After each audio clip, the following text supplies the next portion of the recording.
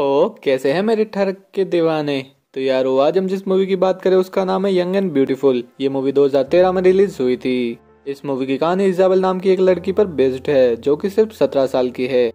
Isabel एक कॉलगल है, यानी कि वो एक प्रोस्टिट्यूट है, जो पैसे लेकर लोगों की रातें रंगीन करती है। कहानी में टर्न तो तब आता है, जब एक बूढ़े आदमी के साथ सेक्स करते समय उस बूढ़े आदमी की जान चली जाती है। तो यारो, आज का वीडियो होने वाला है बहुत ही मज़ेदार। तो शुरू करते हैं आज का वीडियो बिना किसी मुठल बाजी के। मूवी की शुरुआत होती है इजाबेल से, जो अपनी फैमिली के साथ वेकेशन मनाने आई है। मूवी में हम देखते हैं कि इजाबेल सनबात ले रही है और उसे कोई छुपकर देख रहा है। ये कोई और नहीं, बल्कि इजाबेल का छोटा भाई विक्टर है, जो अपनी बहन की जवानी को निहार रहा होता है। इजाबेल अपने कपड़े उतार कर वहीं पर सो जाती है और फिर विक्टर उसके पास आता है, जैसे इजाबेल जाग जाती है और विक्टर से पूछती है कि तुम यहाँ क्या कर रहे हो? तो विक्टर कहता है कि फेलिक्स तुम्हें ढूंढ रहा है। तो यार मैं आपको बता दूँ, फेलिक्स इजाबेल का बॉयफ्रेंड है। और ये बात विक्टर को भी पता है, क्योंकि इजाबेल और विक्टर काफ़ी करीब है और दोनों एक दूसरे से हर बात शेयर करते हैं। फिर विक्टर और इजाबेल फार्म हाउस पर चले जाते हैं। जहाँ इजाबेल की फैमिली और रिलेटिव लंच कर रहे होते हैं। लंच के बाद इजाबेल की मोम सिल्वी उसके पास आती है और उससे फेलिक्स के बारे में पूछती है और आगे वह कहती है कि क्या तुम फेलिक्स से प्यार करती हो? मगर इजाबेल इस सवाल का कोई जवाब नहीं देती। आगे सिल्वी कहती है कि तुम फेलिक्स को डिनर के लिए इनवाइट कर दो, मगर इजाबेल इस बात के लिए मना कर देती है और कहती है कि वो तो एक डम लड़का है। मूवी में आगे हम देखते हैं कि दोपहर का समय है, सब लोग आराम कर रहे होते हैं, मगर तभी विक्टर के दिमाग में कुछ चुल मचती है और वह दूसरों के रूम में ताका झाकी करने लगता है। जब वह इजाबेल के रूम में झांकने की कोशिश करता है तो देखता है कि इजाबेल अपनी हाथ गाड़ी का उपयोग कर रही है। नोट, अगर आपको अभी तक समझ नहीं आया कि इजाबेल क्या कर रही है तो बेटा ये वीडियो आपके लिए नहीं है। आप जाकर पोगो देखो। अगले सीन में हम देखते हैं कि इजाबेल और विक्टर बीच के किनारे सनबात ले रहे होते हैं, तभी वहाँ फेलिक्स आ जाता है, जो कि इजाबेल का बॉयफ्रेंड है। फेलिक्स इजाबेल को लेट नाइट पार्टी के लिए इनवाइट करता है और कुछ देर बातें करने के बाद वहाँ से चला जाता है। मूवी में आगे हम देखते हैं कि इजाबेल के मॉम डैड और रिलेटिव्स आपस में बात कर रहे होते और दूसरी ओर इजाबेल पार्टी के लिए रेडी हो रही है, जिसमें विक्टर उसकी हेल्प कर रहा है। इजाबेल विक्टर को सबका ध्यान भटकाने के लिए कहती है, ताकि वह पार्टी में जा सके। आगे हम इजाबेल और फेलिक्स को एंजॉय करते देखते हैं और फिर वह दोनों बीच के किनारे आ जाते हैं, जहाँ वह दोनों दबाकर संभोग करने लगते हैं। मगर इजाबेल को इसमें मज़ा नहीं आ रहा था क्योंकि उसका ये फ़र्स्ट टाइम था और वह मनी मन सोचती है कि ना दम है तेरी धार में और ना ही तलवार में। रख दे इसे मयान में काम आएगी हिलाने में। समझ रहे हो? समझ रहे हो समझ रहे हो ना? निराश लीला के बाद फेलिक्स इजाबेल को घर छोड़ने आता है। जैसे ही इजाबेल घर में एंटर हो रही थी तभी वह अपने डैड को नंगा देख लेती है। इजाबेल के डैड को लग रहा था कि इजाबेल ऊपर सो रही है इसलिए वह घर में नंगे ही घूम रहे होते हैं। मगर इजाबेल को बाहर से आता, देख, अपने सामान को ढक लेते हैं। और इजाबेल से कहते कि, तुम कहाँ थी? मगर इजाबेल इस सवाल का कोई जवाब नहीं देती और वह अपने रूम में चली जाती है। हाँ विक्टर इजाबेल के रूम में उसका पहले से ही वेट कर रहा था। इजाबेल विक्टर से पूछती है कि, तुम यहाँ क्या कर रहे हो?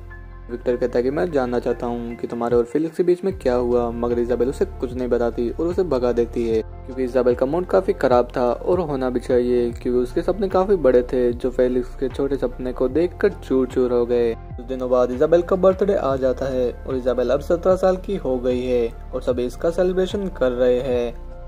आगे हम देखते हैं कि इजाबेल अपने सामान को पैक कर रही है, क्योंकि वह अपने घर वापस जा रही है, क्योंकि उसका वेकेशन समाप्त हो चुका है। मूवी में आ गया। हमें कुछ दिनों बाद का सीन दिखता है, जहाँ हमें पता चलता है कि इजाबेल एक प्रोस्टिट्यूट है और वह आज एक होटल में अपने क्लाइंट से मिलने जा रही है। Isabel room number six zero nine five में जाती है, जहाँ उसे पता चलता है की उसका क्लाइंट सत्तर अस्सी साल का बूढ़ा आदमी है। एक बार तो मैं भी सोच में पड़ गया था कि ये आदमी लेने आया है या अपनी देने। तो यारो जैसे जैसे हमारे चाचा काम चला ही लेते। हैं और इजाबेल के साथ दबाकर संभोग करते हैं। फिर इजाबेल अपने पैसे लेती है, वो घर चली जाती है। घर आकर वह सबके साथ नॉर्मल तरीके से बात करती है। वैसा प्रिटेंड करती है कि जैसे कि कुछ हुआ ही नहीं था। रात को इजाबेल अपने लैपटॉप में एक साइट ओपन करती है। ये वही साइट है जहाँ से क्लाइंट इजाबेल से बात करते हैं। मूवी में आगे हम देखते हैं कि इजाबेल अपने स्कूल में है। वह मेज पर बैठकर अपने क्लाइंट को मैसेज करती है। उसे मिलने के लिए बुलाती है। वह क्लाइंट को मैसेज कर ही रही होती है कि तभी उसकी फ्रेंड आ जाती है, जिसे देखकर वह अपने फ़ोन को छुपा लेती है। इजाबेल की फ्रेंड उससे पूछती है कि क्या वह तुम्हारा बॉयफ्रेंड है? तो वह हाँ कर देती है और कहती है कि वह बत्तीस साल का है। शाम को इजाबेल अपने क्लाइंट से मिलने जाती है। थोड़ी देर बातें करने के बाद क्लाइंट इजाबेल को अपने रूम में लेकर जाता है। तो गाइज़ हमें लगता है कि हमें मूवी में फिर से संभोग देखने को मिलेगा, मगर यहाँ तो सीन अलग ही है। ये आदमी इजाबेल के कपड़े तो उतारता है, मगर संभोग के लिए नहीं, हस्त मैथुन के लिए। अरे भैया, इनके हाथों में सोने का कटोरा भी देंगे तो ये साले भीख ही मांगेंगे। चलो छोड़ो गाइस अब हम क्या ही कर सकते हैं? इन सब के बाद इजाबेल अपने पैसे लेकर घर चली जाती है। इजाबेल की लाइफ ऐसे ही चलती रहती है, वह रोज किसी न किसी क्लाइंट से मिलती है और अपनी लाइफ को एंजॉय करती है। और इस तरह उसने काफ़ी पैसे इकट्ठे भी कर लिए थे। मूवी में आगे हमें कुछ दिनों के बाद का सीन दिखता है, जहाँ हमें पता चलता है कि इजाबेल अपनी फैमिली और रिलेटिव्स के साथ मूवी देखने के लिए आई है। इंटरवल के टाइम इजाबेल की मुलाकात जॉर्ज नाम के एक आदमी से होती है। जॉर्ज वही आदमी है जिसकी शक्ति का प्रदर्शन हमने कुछ समय पहले ही देखा था, यानी कि हमारे चचा का। इजाबेल वापस अपनी सीट पर आने लगती है, तभी वह रास्ते में अपनी मॉम और पीटर को, यानी कि उसका रिलेटिव को आपस में बात करते देखते हैं, और वह समझ आती है कि उसकी माँ का पीटर के साथ कुछ चल रहा है। इजाबेल अपनी सीट पर आकर बैठ जाती है। तभी हमारे चचा, यानी कि जॉर्ज का मैसेज आता है और वह उसे उसी रूम में बुलाता है, यानी कि 6095 में। अगले दिन इजाबेल होटल में जाती है और जॉर्ज के साथ दबाकर संभोग करने लगती है। मगर संभोग के दौरान जॉर्ज को हार्ट अटैक आ जाता है और हमारे चचा लेते लेते ही चले जाते हैं। इजाबेल इस हादसे से घबरा जाती है और उसे चोट भी लग जाती है। फिर इजाबेल अपने कपड़े पहनती है और वहाँ से पैसे लेकर चली जाती है। अगली सीन में पता चलता है कि दो पुलिस वाले इजाबेल के मोम के ऑफ़िस आते हैं और उन्हें सब बात बता देते हैं और कहते हैं कि आपकी बेटी एक प्रोस्टिट्यूट है। आगे वह कहते हैं कि आपकी बेटी कल रात जॉर्ज के साथ थी और जॉर्ज की डेड बॉडी हमें होटल से मिली है। इस बात से इजाबेल के मोम को एक शौक लगता है। वह सोचती है की इजाबेल एक प्रोस्टिट्यूट कैसे हो सकती है? वह तो सिर्फ़ सत्रह साल की है।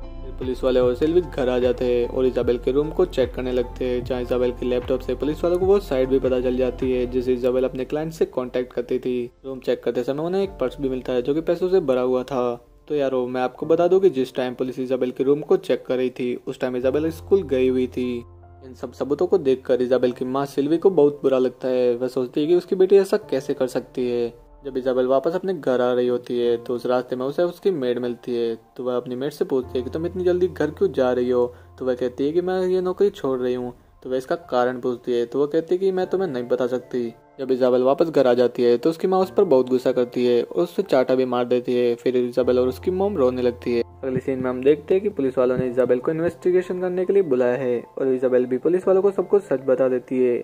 इन्वेस्टिगेशन और जॉर्ज की रिपोर्ट देखकर पुलिस वालों को भी पता चल जाता है कि जॉर्ज की मौत सिर्फ़ एक हादसा थी। अगली सीन में हम इजाबेल और उसकी मोम डैड को आपस में बात करते देखते हैं, जहाँ सिल्वी इजाबेल से थेरेपी लेने के लिए कहती है, मगर इजाबेल मना कर देती है, मगर अपनी माँ के जिद के आगे उसे जाना पड़ता है। अगले सीन में हमें पता चलता है कि इजाबेल थेरेपी लेने के लिए साइकोलॉजिस्ट के पास जा रही है और सिल्वी भी उसके साथ जाती है। साइकोलॉजिस्ट इजाबेल से काफ़ी सवाल पूछता है और वह पूछता है कि तुम अपने प्रोस्टिट्यूट करियर में कौन कौन से उम्र के लड़कों के साथ सोई थी? तो इजाबेल कहती है कि मैं बहुत सी उम्र के लड़कों के साथ सोई थी। तो साइकोलॉजिस्ट कहता है कि क्या वह तुम्हारे डैड की उम्र के भी थे? तो इजाबेल कहते हैं कि हाँ और तुम्हारे उम्र के भी।